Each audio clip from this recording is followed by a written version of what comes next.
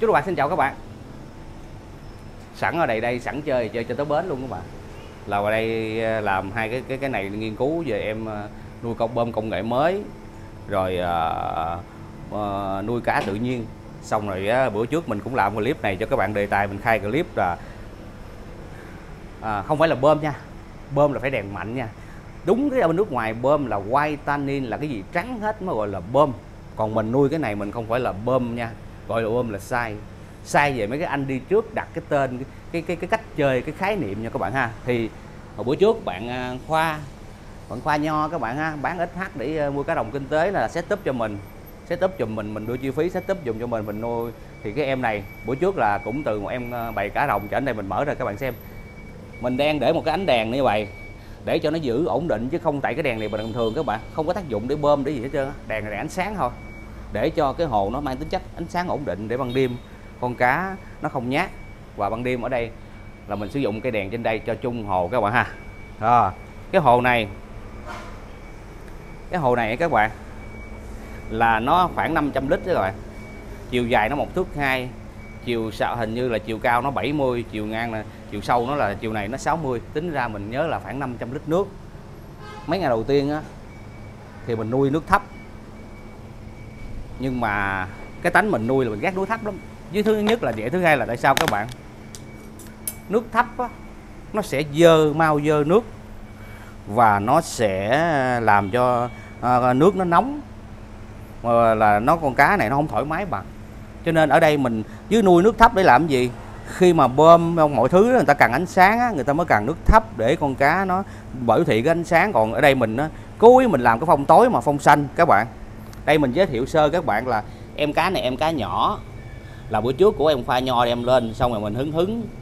Cái mình thấy em xanh xanh cái mình lấy em này trong cái hồ cái hồ dưới cho mình trong cái hồ lớn của mình đó em này bữa trước qua vô cộng đồng rồi cũng bị cắn sơ sơ rồi cho nên để đuôi nó chưa lành nhưng mà nay nó lành rồi. Xong rồi á, nằm ở dưới các bạn thấy cái màu xanh của nó các bạn thấy lên nó khác không? Mình cho ăn nè. Các bạn thấy đó.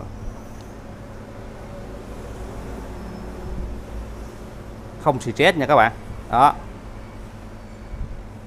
Đó.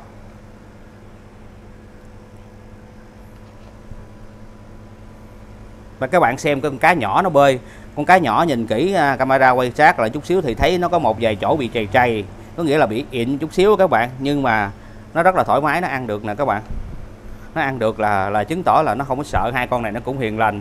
Lúc mà nó quay à, con cá lớn, con quay cảnh canh coi cảnh bên hông ha nó ăn đó đó đó, các bạn thấy mình không dám mình nói khi mà mình làm clip này thì mình làm cái này, mình nói cá này lên cái này đẹp. Thì các bạn nói là tại mình tự làm mình khen đẹp. Nhưng mà thật tình thật tình là nuôi cái phong xanh con cá nó lên cái màu xanh, các bạn thấy không? Camera kéo sát vô. Một chút xong ăn xong mình mình mình mình, đó đó, các bạn thấy cái màu xanh trên lưng nó có cái màu xanh luôn kìa. Bạn thấy trên lưng nó có màu xanh luôn. Cái con kia chứng tỏ các bạn thấy cái con con con bói nhỏ đó con bói nhỏ là nó không có lên màu vàng. Bình thường bói là lên màu vàng, còn nó không có lên màu vàng các bạn. Đó, các bạn thấy đó. Mình không biết mình hên làm sao, mình nuôi cá mình ghép nó không bị chết, nó không cắn các bạn. Không biết sao nó sợ chú bạc làm sao mình nuôi con cá các bạn thấy cặp cá này, cái này mình không khuyến khích nha. Ai bị vô là bị gán chịu nha. Mình hên, mình không bị á chứ hai em này nuôi ghép chung nha. Thứ nhất là số lượng ít thứ hai là sai trên lệch. Là khả năng 99,99% là cắn chết. Thậm chí nó nuốt luôn. Mà các bạn thấy không? Con lớn với con nhỏ nó cách nhau gấp 5 lần. Mình thử mình bỏ vô thử mình thấy nó không sao cho mình chơi luôn. Mình thực tế mình cũng thử mình hết hồn luôn. Tại vì cái hồ những hồ cộng đồng nó đông mình nói cái hồ này có hai con à. Mà nó nó chỉ ngày đầu tiên nó bỏ vô nó nó, nó dí em kia một cái nó chạy chút xíu. Xong lúc mình cũng theo dõi mình thử nếu mà không được là mình dùng cái biện pháp mình cưỡng chế liền nhưng mà nó không sao. Đó, các bạn thấy nó ăn nó đâu sợ đâu. Mà nó vẫn lên sai các bạn. Mình ghép chung hôm nay được cỡ 7 ngày hơn. Đem về đó, các bạn thấy nó ăn, thấy không? Nó sung. Ghép chung nay 7 ngày hơn à. Ăn rất là sung rồi các bạn. Cũng vậy thôi, một ngày thay nước một là, một lần, hoặc là hai ngày một lần. Một lần 30 phần trăm, hút ra, hút dơ này nọ ra. Không bỏ muối, không bỏ gì hết. Đó. Bạn thấy không? Nuôi cái hồ này bữa sau mình sẽ men lên cho các bạn xem.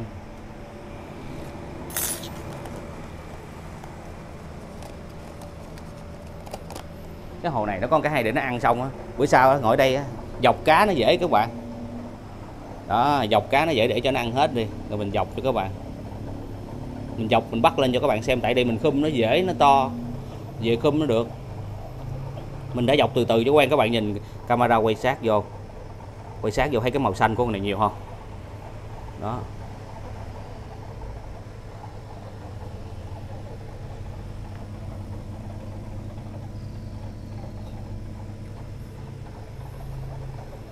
Nếu các bạn có ờ, chơi cá đó, hay là dọc cá, nhớ là dọc trước khi ăn nha.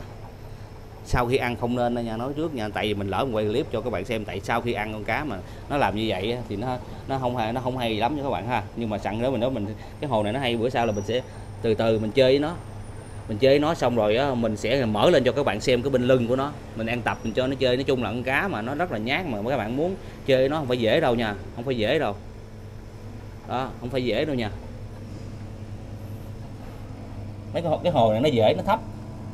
Nó thấp mà nó bự thì làm nó dễ các bạn chứ mấy hồ khác không có được. Đó mình tập từ từ với nó quen à.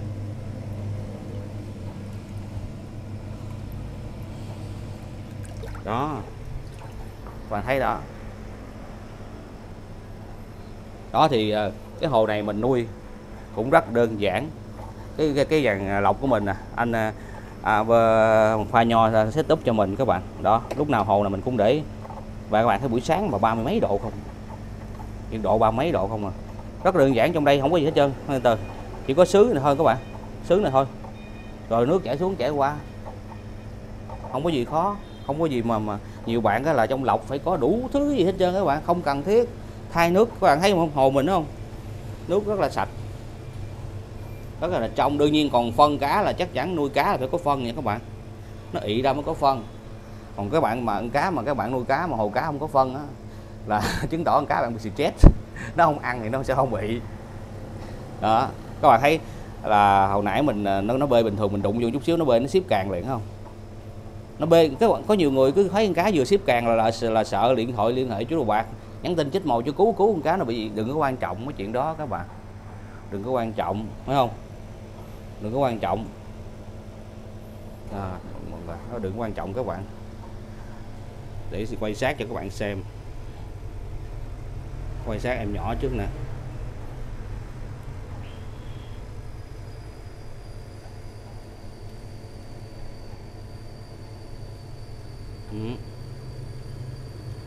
Hai em bơi bơi chung nhau rất là tỉnh các bạn ha. Đó em nhỏ bơi rất là tỉnh nè.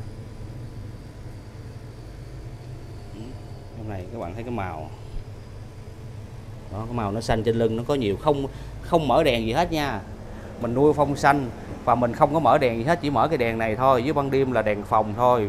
Và à, để như vậy cho nó ổn định. Và nhớ các bạn phải có lưới nha. Đó mình thấy cái phong xanh này nuôi nó lên cái màu xanh ghê hồn về sau về dài không biết sao chứ giờ thấy ok. Đó hồi bữa giờ có nhiều bạn cứ mong mình mình cập nhật cập nhật nơi mình cho mình cập nhật cho các bạn xem. Nhớ là nói là không khuyến khích nuôi hai con chung vậy nha. Có bị chúng là đừng đổ thừa nha. Mình hên đó nha.